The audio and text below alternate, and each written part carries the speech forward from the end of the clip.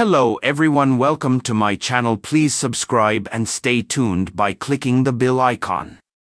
Coronation Street's Simon Gregson looks downcast as Christmas grotto at his wife's cafe is destroyed by Storm Pia the couple run a cafe called Morley Tea Rooms in Wilmslow after his wife Emma took over last October.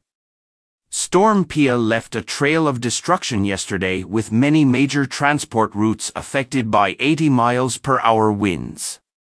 It sparked Christmas getaway chaos as the forceful drafts battered Britain and halted festive travel plans. Earlier in the month, Simon, 49, shared a glimpse of the festive grotto on Instagram. Yesterday, he had to tidy up the aftermath of the havoc wreaked by Storm Pia's strong gusts. The storm seemed to have ripped the tarpaulin off the marquee frame and toppled massive candy canes.